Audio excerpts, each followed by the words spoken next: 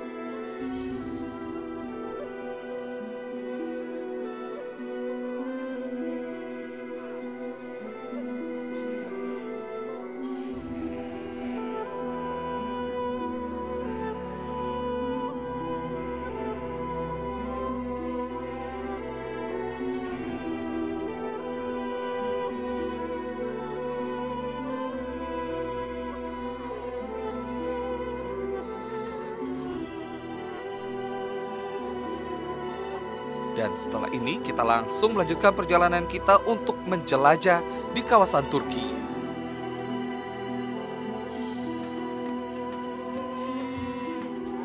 Smart Viewers, tempat pertama yang kita datangi kali ini adalah salah satu hotel yang terletak di Beyoğlu, yaitu Lazoni Hotel Istanbul.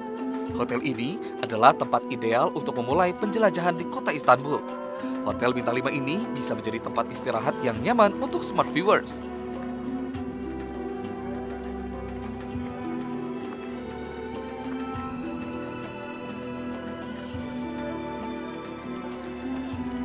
Dari sini, para tamu dapat menikmati akses mudah ke tempat menarik yang dapat ditemukan di kota ini.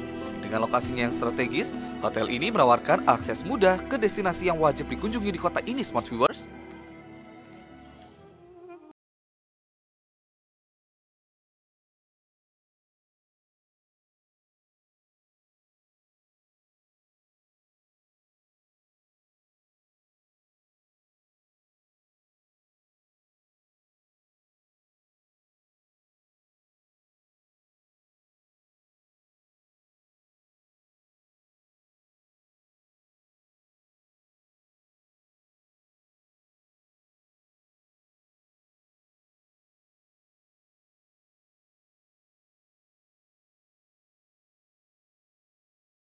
Setelah melihat salah satu hotel yang bisa menjadi pilihan untuk smart viewers menginap, saatnya untuk mencari tempat menarik berikutnya.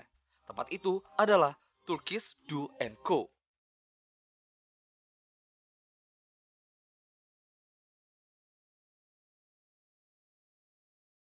Turkish Do Co adalah salah satu perusahaan yang menangani makanan terbaik untuk maskapai penerbangan.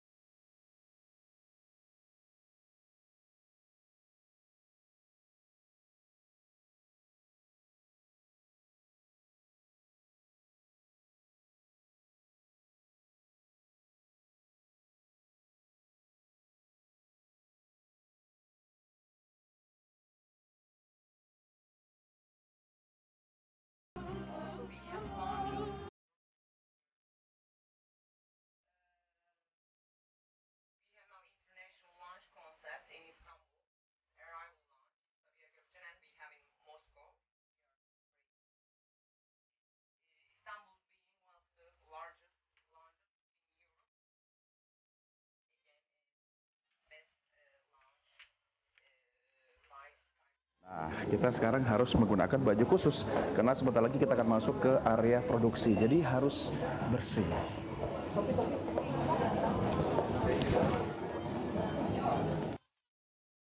Duenko memberikan segala sesuatu dari makanan gourmet kelas pertama di restoran berstandar tinggi. Di sini kita dapat melihat dan dijelaskan tentang makanan mewah yang ada di dalam pesawat. Bukan hanya menyajikan makanan, namun Turkish Do Co juga menyediakan koki yang ikut dalam penerbangan Turkish di airlines. Koki itu akan menghidangkan langsung makanan terbaik untuk penumpang pesawatnya. Smart viewers, bukan hanya di dalam pesawat loh. Jika kita datang ke pabrik Turkish Do Co, kita akan melihat kemegahan di saat para koki menyajikan makanan. Makanan yang disajikan adalah makanan terbaik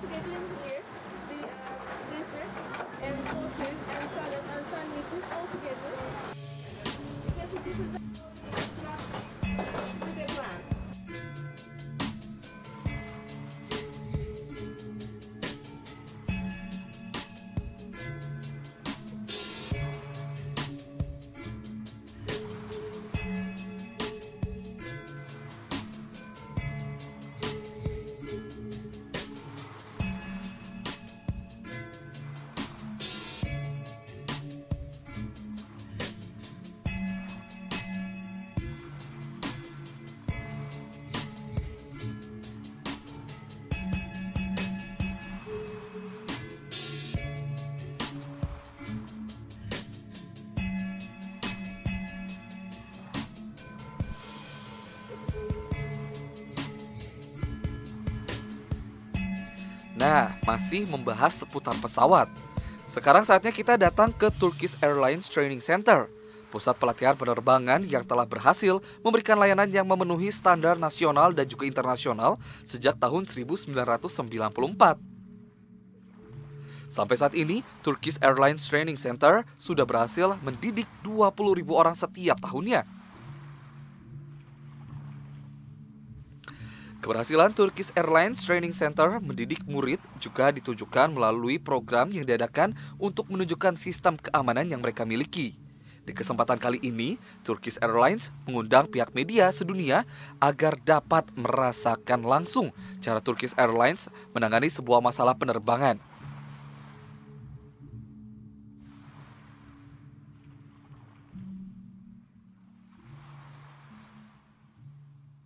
Smart viewers tidak perlu takut karena penerbangan Turkish Airlines ini terhitung cepat.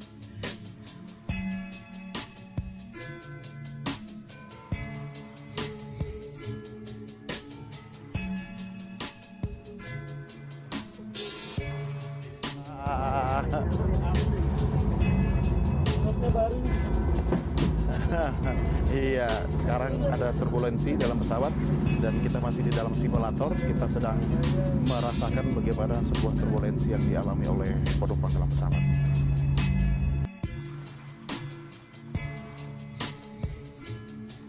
Setelah kita melihat pelayanan atau pelajaran di Turkish Airlines dalam menangani kejadian yang terjadi di pesawat, saatnya kita mendatangi salah satu restoran mewah di Istanbul. Dinner Asiten Restaurant.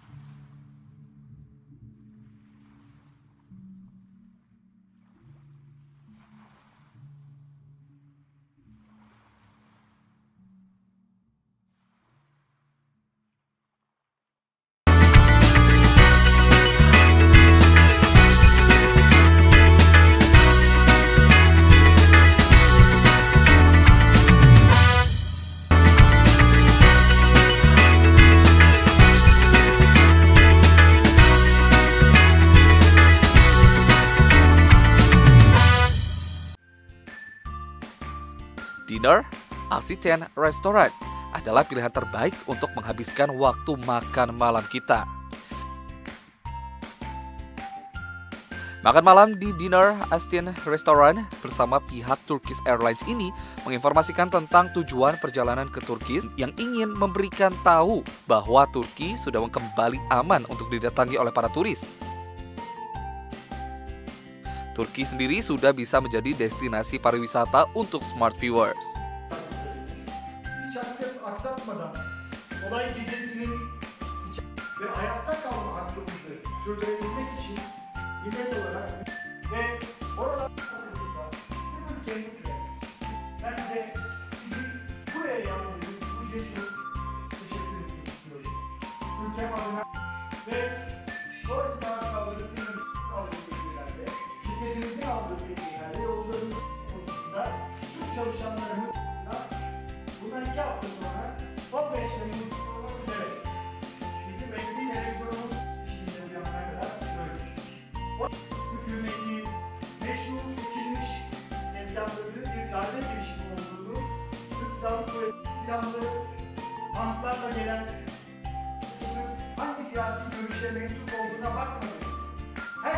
Smart viewers, setelah makan malam bersama itu, ada satu butik ternama yang patut dikunjungi, yaitu Best Leather and Fur. Butik ini membuat pakaian untuk wanita dan juga pria. Beruntungnya, saat travel checklist berkunjung, ada peragaan busana hasil dari leather and fur dan para model menampilkan hasil karya terbaik mereka.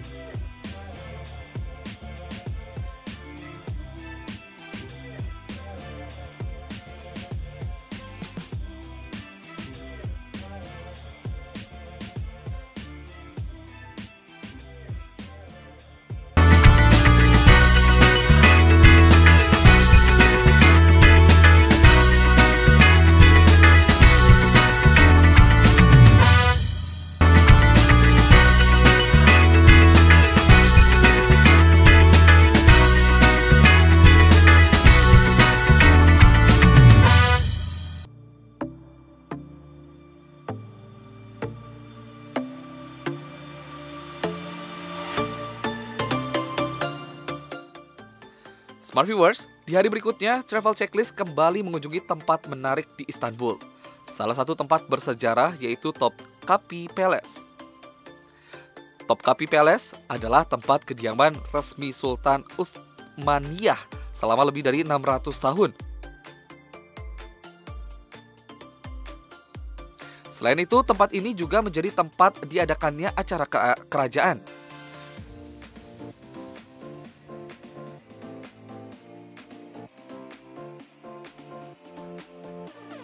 Dalam Topkapi Palace ini terdapat ruangan untuk para sultan yang tinggal di sana.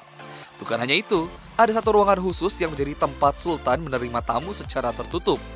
Menariknya, dari tempat ini adalah terdapat museum yang menyimpan barang-barang peninggalan sultan.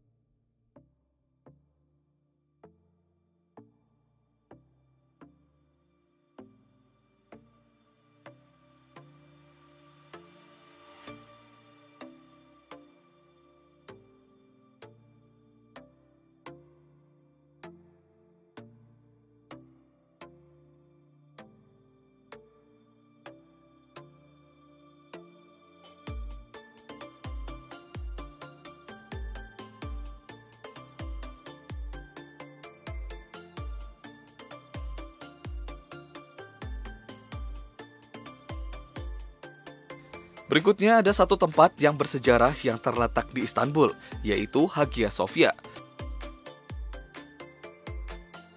Bangunan yang dulunya adalah masjid lalu menjadi sebuah gereja dan sekarang menjadi museum yang wajib dikunjungi jika smart viewers datang ke Istanbul.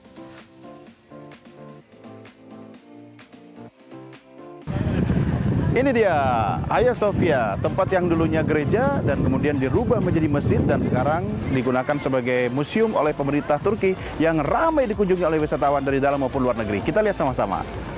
Hagia Sophia terkenal dengan kubah terbesarnya dan juga menjadi katedral terbesar di dunia selama hampir seribu tahun.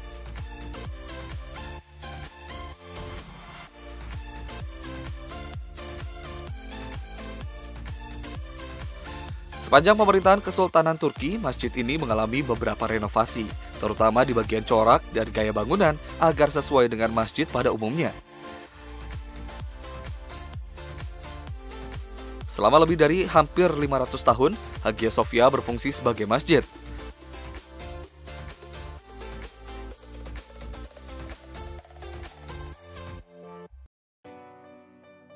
Namun sampai pada tahun 1937, Mustafa Kemal Ataturk mengubah status Hagia Sophia menjadi sebuah museum.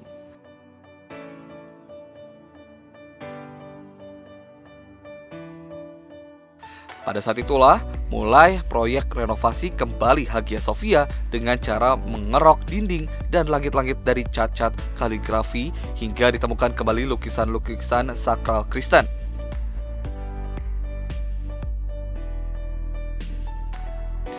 Museum ini dibuka dari pukul 9 hingga pukul 19 waktu setempat.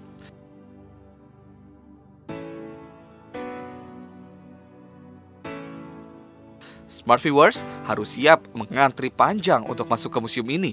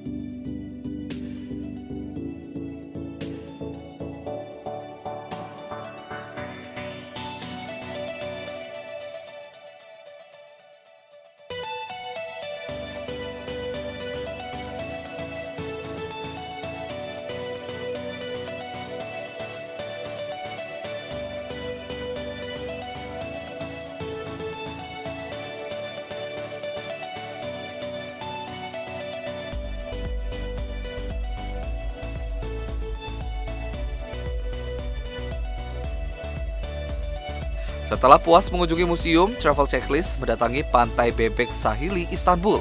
Pantai Bebek Sahili ini dapat memanjakan mata smart viewers dengan pemandangan yang menawan. Laut biru di depan mata dan bangunan di sekitar bukit bisa menjadi pilihan smart viewers untuk istirahat sesaat setelah melakukan perjalanan yang panjang. Nah, smart viewers, itulah cerita perjalanan travel checklist mengunjungi tempat menarik selama beberapa hari di Turki. Di episode selanjutnya, Travel Checklist masih akan mengajak smart viewers untuk kembali mengunjungi tempat menarik lainnya di Turki.